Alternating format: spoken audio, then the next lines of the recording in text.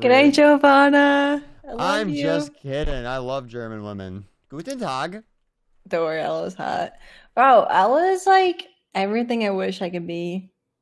I wish I didn't dye my hair this fucking stupid ass fucking color. Whoa. Why'd you do it then? Relax. Cause it's like it's like washed out now. Like you see it, it's like pink at the roots, but it's like not the rest of my